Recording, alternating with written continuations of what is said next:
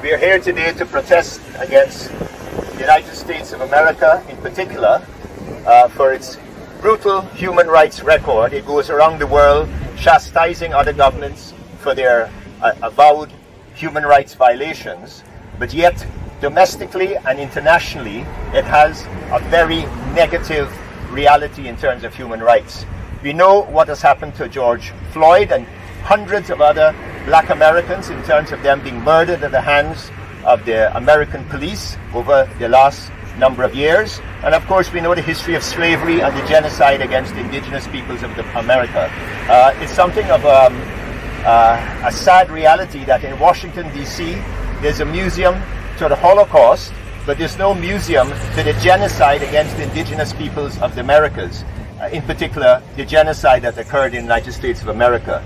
Um, in particular, today I'm here because I'm the Secretary of the Caribbean Against Apartheid in Palestine group, as you can see from the banner I'm holding. And uh, America has been intricately and massively involved in the genocide that's being perpetrated currently and has been for the last 70 years against the Palestinian people. Uh, currently, uh, Mr. Trump has come up with this so-called peace plan um, that involves the total theft of all Palestinian territory, in effect. Uh, they're creating Bantustans, like what the apartheid government in South Africa created for the Palestinian people. Um, and uh, the Zionist government is talking about annexing, as they euphemistically call it, uh, the West Bank of Palestine, which is in fact the theft of the West Bank of Palestine. Sometime this month, they're planning to do that.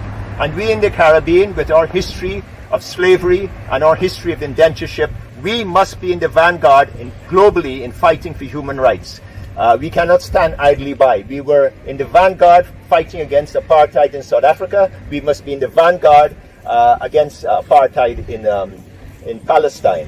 Uh, America um, has been funding to a huge extent over the years Israel and protecting them diplomatically. In fact, one of the last acts of President Obama was to sign an agreement whereby America will be providing 10 billion, 10 billion US dollars worth of armaments to Israel. Without the United States support for their racist apartheid government in Tel Aviv, and I say Tel Aviv, not in Jerusalem, because that is a, a, a, a place that uh, is, is, currently uh, uh, under dispute. Uh, Tel Aviv is the uh, official capital, as far as I'm concerned, of the Zionist state.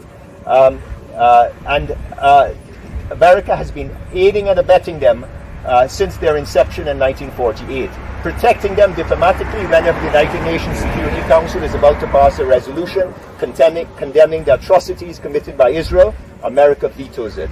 Uh, so it's quite pertinent that we're here today. And uh, we call upon all Barbadians to stand in solidarity with people in Palestine. And further, I call upon the government of Barbados to recognize the state of Palestine Mr. Barrow, the Honorable uh, Prime Minister of, of Barbados, had said that Barbados is friends of all and satellites of none. But so far, Barbados is not a friend of Palestine. It abstains on votes in the United Nations, and that is totally uh, unacceptable. And uh, I would call upon the government of Barbados to immediately establish diplomatic relations with the state of Palestine. Thank you very much.